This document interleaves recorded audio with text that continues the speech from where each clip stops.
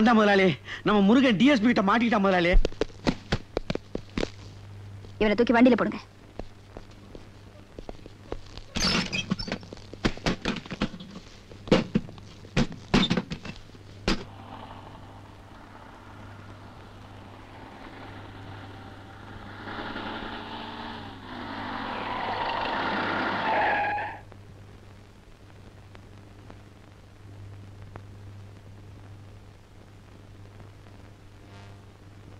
Islamabad that hopes are now pinned on the efforts of the foreign secretaries either to convince Sri Lanka or to find a solution to the impasse created by that country by trying to raise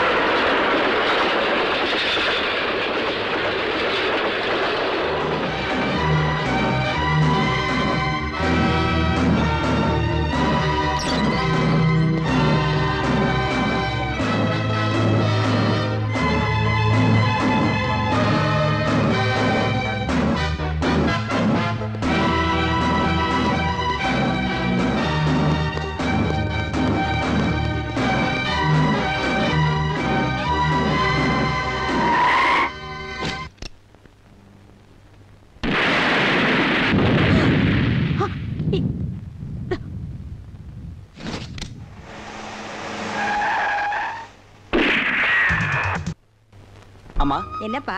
இன்னைக்கு நாள் நல்ல நாளாமா எதுக்காக கேக்குற? பார்த்து சொல்லுமா.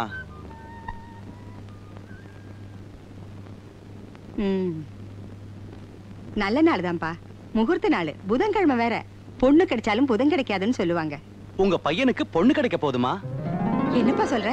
உங்களுக்கு மருமக வரப்போறா. அது விஷயமா தான் இப்ப போறேன்.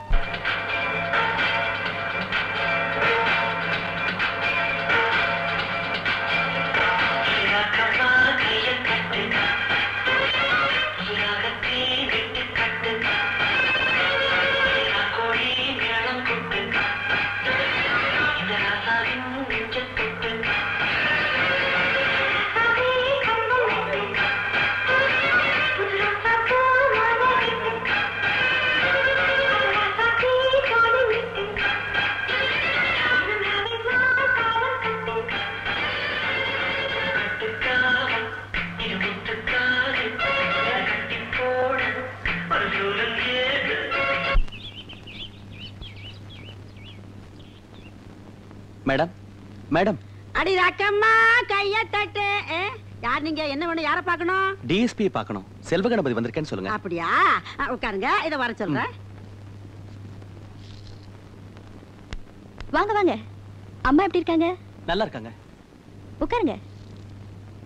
அம்மா அம்மா பசிக்குதுமா ஆயா உள்ள இருக்காங்க. போய் சாப்பாடு போட சொல்லு போ. அம்மா மெட்ராஸ்ல இது நாள் வரைக்கும் ஆயா கூட தானேம்மா சாப்பிட்டேன். இன்னைக்கு ஒரு நாள் உங்க கூட சாப்பிடுறேம்மா.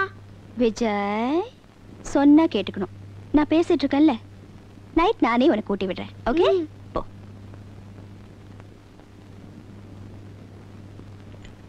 காஃபி சாப்பிடுங்க. மேடம் அந்த பையன் உங்களை அம்மான்னு கூப்பிடுறானே. ஆமா. பெத்த தாய புள்ள அம்மான்னு சொல்லி தான் கூப்பிடும். ஐயோ என்னங்க இது? தெரியாம ஊத்திக்கிட்டேன்.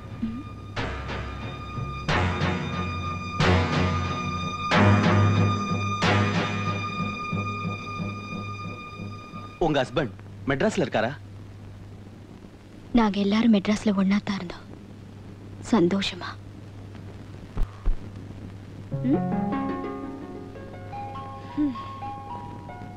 ஏ விஜய் விஜய் கண்ணா எந்திரே. Good morning mummy. Coffee please பல்ல விளக்காம காஃபியா முதல்ல பல்ல விளக்கிட்டு ஹோம்ஒர்க் எல்லாம் செய். ஓடு. ஏன் மம்மி? இன்னைக்கு சண்டே தானே மம்மி. கொஞ்சம் லேட்டா பண்றேன் மம்மி. இல்ல விஜய். இன்னைக்கு நீ அப்பா நான் எல்லாரும் கடைக்கு போறோம். அடுத்த வாரம் தீபாவளி வருது இல்ல உனக்கு Dress பட்டாசு எல்லாம் வாங்க வேண்டாம்? ஐயா பட்டாசு Dress தீபாவளி வந்துருச்சு. சின்ன குழந்தைய எழுப்பி அமிச்சாச்சு. இப்ப பெரிய குழந்தைய எழுப்பணும். என் செல்ல குட்டி ரவி கண்ணா எந்திரிமா எந்திரி எந்திரி எந்திரி எந்திரி. ஏய் ஏய் ஏய் வேண்டாம் ரவி. இப்பதான் நான் குளிச்சிட்டு வந்திருக்கேன். நீங்களும். எழுந்து குளிக்க போங்க. போச்சுடா. உங்க டிபார்ட்மெண்டா தான் இருக்கும். கொஞ்ச நேரம் கூட சந்தோஷமா இருக்க விட மாட்டாங்க. ஹலோ? ஆமாங்க இருக்காருங்க. யாரு? உங்க ஐஜி ஆபீஸ்ல இருந்து ஐயோ. ஹலோ? குட் மார்னிங் சார் ஆ சொல்லுங்க சார் ஆ எஸ் சார் நான் உடனே புறப்பட்டு வந்துடுறேன் சார் ஓகே சார் திலகம் குளிக்கல எடுத்து வை சரிங்க அடாடாடாடா என்ன இது? அப்பா குளிச்சு ஆபீஸ் புறப்பட்டாரு நீ இன்னும் எழுதிக்கிட்டு இருக்கிறியே. எந்திரி. எப்ப குளிக்கிறது? எப்ப டிஃபன் சாப்பிடுறது? எந்திரிப்பா. எந்திரி. குளிச்சிட்டு டிஃபன் சாப்பிடாமல எந்திரி. வா வா வா வா வா வா. திலகம் நீ விஜய் ரெடியா இருங்க. தீபாவளி துணிமணி பட்டசலாம் இருக்குல்ல நான் ஐஜி ஆஃபீஸ் வரைக்கும் போயிட்டு தரேன் ஏங்க டிஃபன் ரெடியா இருக்கு சாப்பிட்டு போங்க. இல்லம்மா ஐஜி ஆஃபீஸ்ல முக்கியமான கான்ஃபரன்ஸ் இருக்கு. நான் உடனே போயிட்டு வந்துடுறேன்? நீ ரெடியா இரு, என்ன? ஷார்ப்பா வந்துடுறேன்.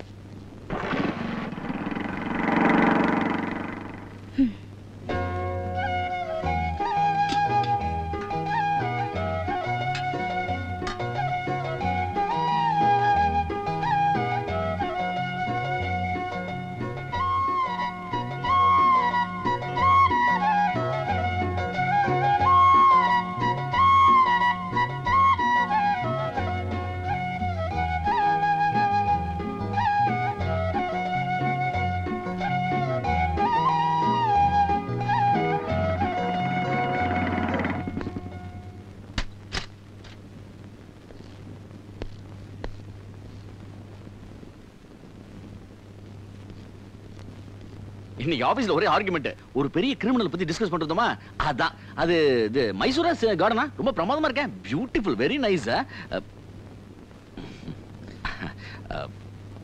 திலகம். சாரிடா ப்ளீஸ் நான் ஒண்ணும் உங்களுக்கு கேட்கலையே. திலகம் ஒரு கேஸ் விஷயமா ஸ்பெஷல் பிரான்ச் போலீஸா நான் வெளியூர் போகணும். தாராளமா போங்க. என்ன நான் உன்னை ஷாப்பிங்கு கூட்டு போலன்னு மேல கோவம் தானே உனக்கு என்னைக்கு நீங்க சொன்ன நேரத்துக்கு வந்து எங்களை நீங்க அழைச்சிட்டு போயிருக்கீங்க? இன்னைக்கு நான் உங்க மேல கோவப்படுறதுக்கு. இல்ல திலகம் கேஸ் என்ன நம்பி ஒப்படைச்சிருக்காங்க? உங்களை நம்பி நாங்க இருக்கோம். அதை நினைச்சு பாத்தீங்களா? வேளா வேளைக்கு உங்களால நிம்மதியா ஒரு வாய் சாப்பிட முடியுதா? இல்ல உங்க குழந்தையோட கொஞ்ச நேரம் அன்பா பேசி பழக முடியுதா?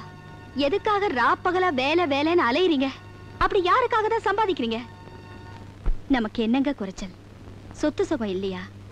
மூணு தலைமுறை உட்கார்ந்து சாப்பிடுற அளவுக்கு உங்க அப்பா சம்பாதிச்சு வச்சுட்டு போயிருக்காரு. இதை தவிர நமக்கு வேற என்னங்க வேணும்? தயவு செஞ்சு சொல்றேன். இந்த போலீஸ் வேலையை விட்டுடுங்க. ப்ளீஸ் திலகம் நீ நினைக்கிற மாதிரி நான் சொத்து சுகத்துக்கு ஆசைப்பட்டு இந்த உத்தியோகத்துக்கு வரல. மனுஷன் ஒரு முறை தான் பறக்கிறான். ஒரு முறை தான் இறக்குறான். ஆனா அந்த இடைப்பட்ட காலத்துல அவன் என்ன சாதிக்கிறான்னு பார்க்கணும். எனக்கு சின்ன வயசுல இருந்து எதையாவது சாதிக்கின்ற வெறி இருந்துச்சு. அதனாலதான் இந்த உத்தியோகத்துக்கே வந்தம்மா. நான் மட்டும் இல்லம்மா. நீ கூட இந்த போலீஸ் யூனிஃபார்மை போட்டா எதையாவது சாதிக்கணுங்கிற உணர்வும் ஒரு கம்பீரமும் உன்னை அறியாம ஏற்படும். ஆமாமா இந்த இளைஞர் சமுதாயத்தை பிரவுன் சுகருங்கிற போதைப் பொருளால அழிச்சு நாசப்படுத்திக்கிட்டு இருக்கிற அந்த மோசமான கும்பலை பிடிக்கிற பொறுப்பு எங்க டிபார்ட்மெண்ட் என்ன நம்பி ஒப்படைச்சிருக்கு. அந்த தேச துரோகிகளை பிடிச்சு சட்டத்து முன்னாடி நிறுத்தணும். அதான் என்னோட ஆசை. நீ எம்ஏ படிச்ச பொண்ணு. இதுக்கு மேலேயும் உனக்கு விவரமா சொல்லணுங்கிறது இல்ல. சாரிங்க உங்களுக்குள்ள இவ்வளவு பெரிய லட்சியம் இருக்குன்னு எனக்கு தெரியாதுங்க. இனிமே உங்க ஆசை எதுவோ அதுதான் என் ஆசையும்.